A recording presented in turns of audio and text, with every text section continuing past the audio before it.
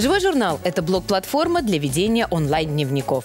В нем можно не только делать свои записи, но и комментировать чужие. В общем-то, свои ЖЖ давно уже есть у многих известных в России людей, а также у партий, общественных движений, организаций, даже у меня есть.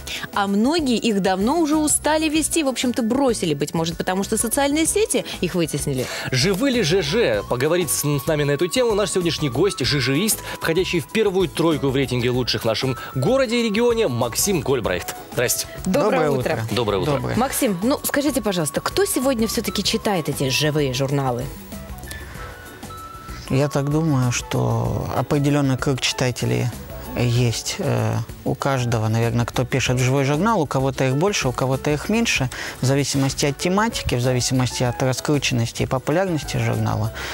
Ну, В вот вы- принципе- вы, вы специализируетесь на какой тематике преимущественно? Э, В основном, значит, тематика моего журнала – это авиафотография и путешествия. Сейчас э, говорят о том, что социальные сети обходят постепенно живой журнал. Хотя он тоже социальная сеть, но вот традиционные ВКонтакте, Фейсбук и так далее становятся более популярны, чем ЖЖ. Так ли это, на ваш взгляд? Здесь э, двоякое впечатление у меня.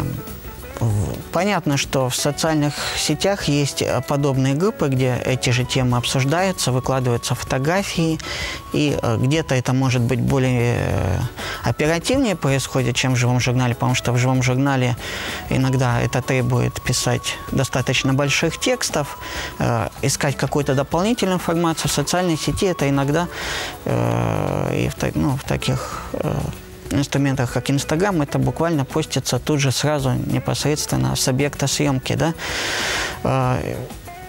Ну, живой журнал, он более располагает к такому К чтению, к непосредственному, да, то есть это как бы вдумчивое чтение, а социальная сеть – это более предоставление оперативной информации. И в данном случае здесь они как бы друг друга дополняют, а с другой э, стороны, э, очень часто мы используем социальные сети именно для раскручивания своего живого журнала и привлечения внимания читателей.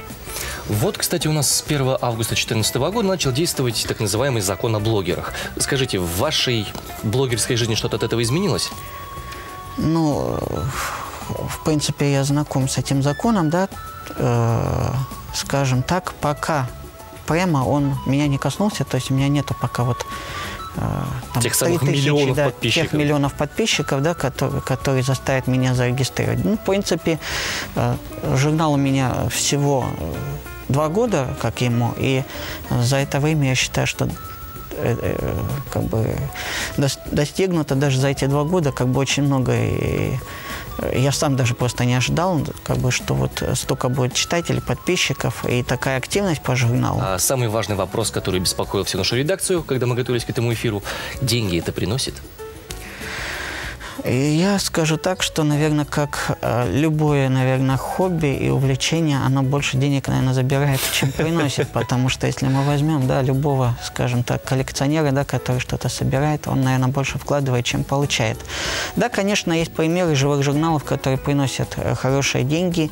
Э, Есть, конечно, топовые авиафотографы, которые продают свои фотографии.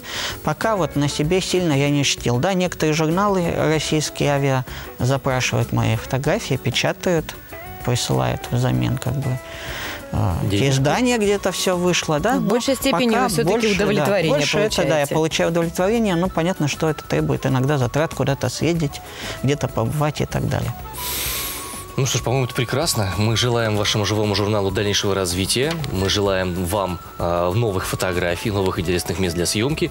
Ну и самое главное, как будете миллионщиком, вы уж там не забывайте, пописывайте, что там новое утро, там тоже группа ВКонтакте. Передавайте Хорошие ребята там туда-сюда. Спасибо вам огромное. Желаем вашему ЖЖ увеличения количества подписчиков, вам увеличения количества интересных мест для съемок, интересных фотографий, дальнейшей монетизации, ну и, собственно, роста и развития. И хороших, Спасибо. интересных новостей. Собственно, как и нам. Как раз-таки нас новости на 12 канале прямо сейчас в эфире.